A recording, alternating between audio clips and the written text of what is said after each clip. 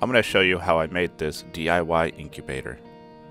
In the end, it malfunctioned and ended up looking like this, but more about that at the end of the video.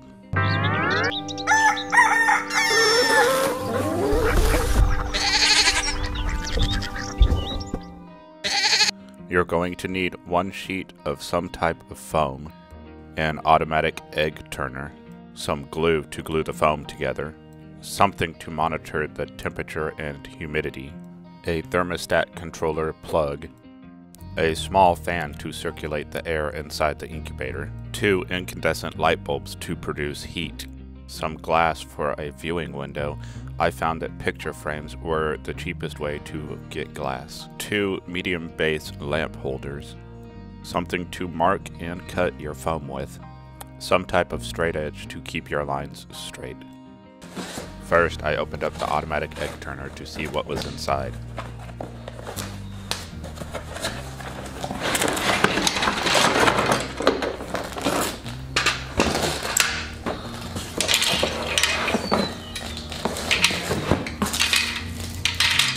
It was pretty simple, a base, a motor, and changeable egg holders for different size eggs. Next I opened up the digital thermostat controller.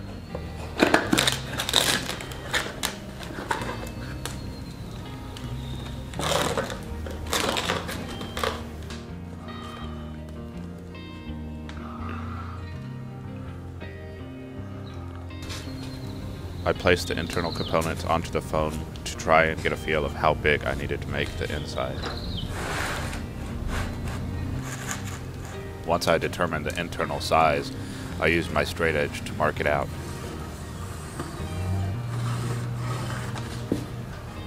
Then I used a straight edge and a knife to cut the foam.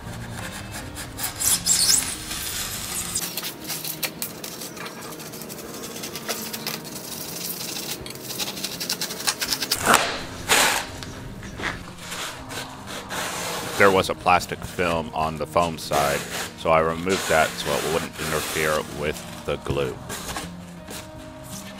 I got everything laid out and in position, and then used glue and wooden skewers to hold everything together. I kept the reflective side of the foam facing inward to keep all the heat inside.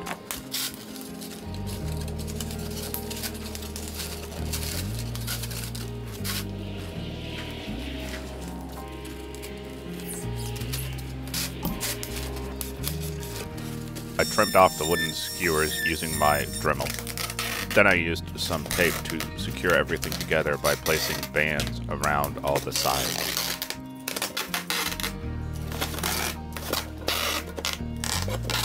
Here I'm gluing on a piece of foam onto the bottom side of the lid so that part of the lid fits inside the incubator. I let all the glue set overnight before continuing.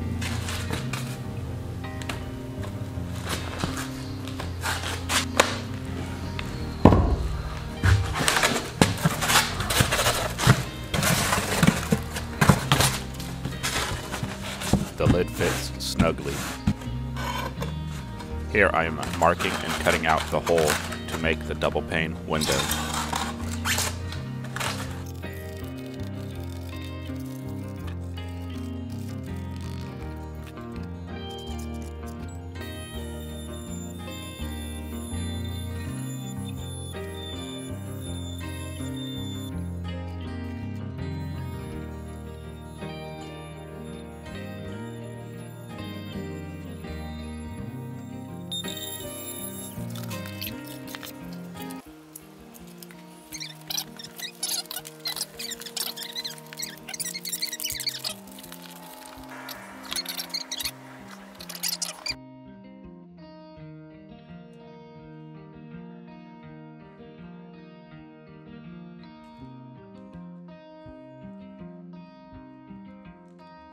You'll need to mark and cut out a recession for your lamp holders.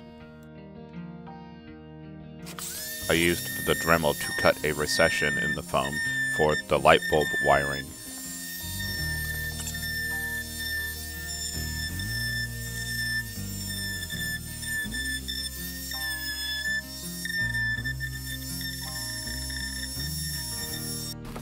I made sure that everything was going to fit and then glued and taped the light bulb bases into the foam.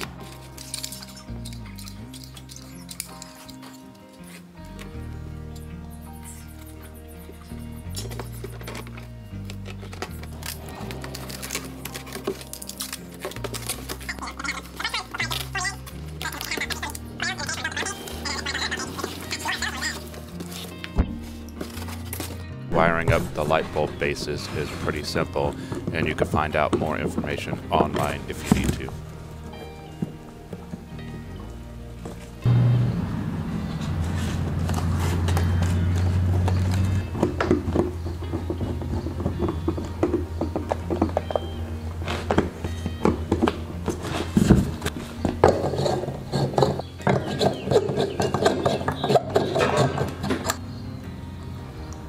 Lights work and produce plenty of heat.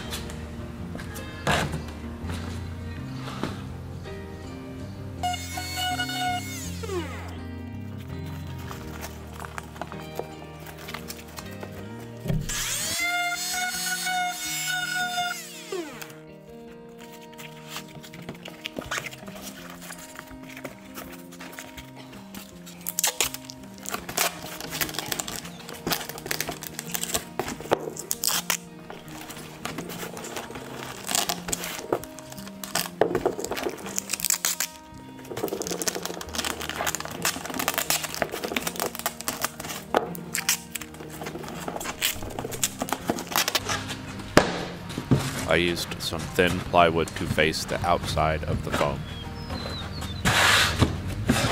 Here I am gluing on the wood to the exterior of the foam. I'm doing this to make it look nicer and keep the foam protected.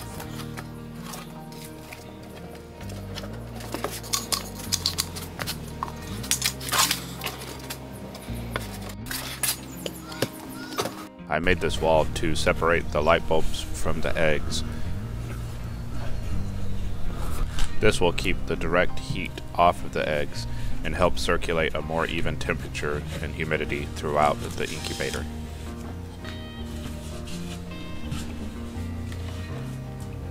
Here it is during the test run. I let it run for about a day to make sure that it maintained a consistent temperature and humidity in the incubator.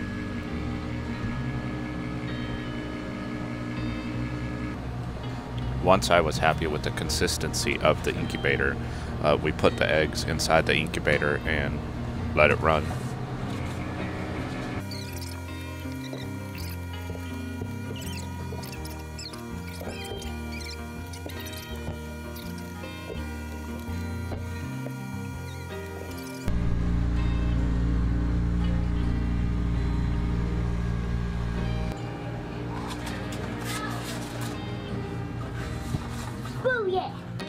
In the end, it worked for about three days, and then the thermostat malfunctioned and went into a constant on state, keeping the light bulbs on.